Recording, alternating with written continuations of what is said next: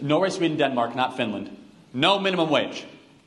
So as soon as they want to talk about Norway, let's say, all right, let's get rid of the U.S. federal minimum wage. First thing. Do you know they have no minimum wage in the Scandinavian countries? Only country that has it is Finland. How do they negotiate wages? Voluntarily with employers. So you can pay anyone whatever you want. You can pay them 50 cents an hour or a dollar an hour. The left wants to raise the minimum wage to $15 an hour.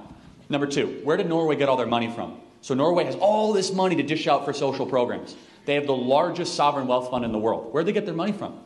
North Sea oil, nationalization of, of oil, uh, nationalization of natural resources. I thought the left wants the Green New Deal, getting rid of all of, nat- you know, fracking is the worst thing. Fracking literally made Norway rich. Let's talk about Norway, Sweden, Finland, Denmark. So they have very generous welfare programs, very generous, overly generous. But they say, oh, we soak the rich. No, you don't. You soak the middle class and you, so- you soak the lower class. Here's what you can ask your friend Do you want to have a 22% sales tax? Because that's what they have in Norway 22% sales tax. Do you know what kind of tax they have on cars? 200% tax on cars. They just lowered it to 100% tax on cars, and that was considered like a big tax cut. Despite all of that, Denmark has actually said to Senator Sanders, stop calling us socialist. We're not socialist. So there's actually an argument where you can make they have high taxes on the middle class, they have high taxes on working people, they have really, they have, they, they confiscate all the oil, and they say they hate oil, yet they have the largest sovereign wealth fund in the world. However, there's also a point to it where, according to the World Economic Freedom Index, they have more economic freedom than America does, despite all of that. They're ranked 4, 5, 6, and 8 on the World Economic Freedom Index. How, you say, how's that possible? They have no minimum wage, barriers to entry, and they have far less regulation in their economy. So you should say to your friend, if socialism means deregulating the American economy so that we're more economically free than those four countries, then I don't think we're talking about the same thing, but I think I would love to be able to do that, to deregulate the American economy. Final thing is this.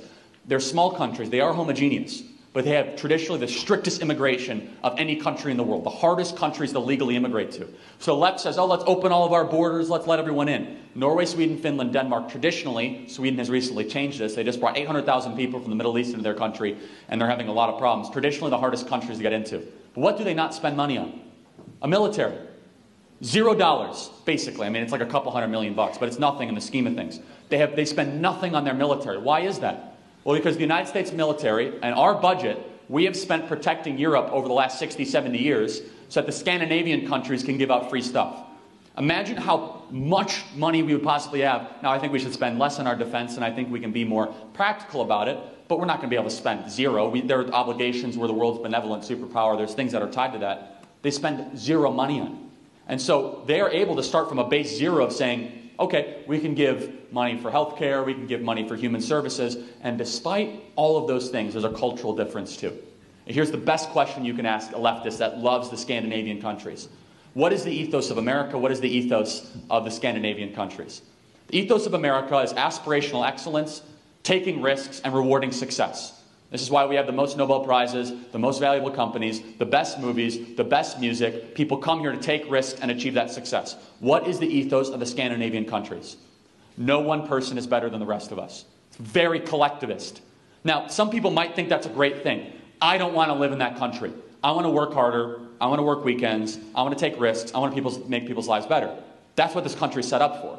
Every country can have their own cultural ethos. I'm not saying there's something wrong with that. But I would feel like I was a caged animal if I had to live in Norway, where I had to ride a bike around all the time. Why do they ride bikes? Because they have a 200% tax on cars. That's why they ride bikes all the time. Like, oh, everyone's so happy in Norway all the time. Well, look, my def- first of all, they're not. That's exactly right. My definition of happiness is give me the freedom to take risks. And that's the way this country has always been set up.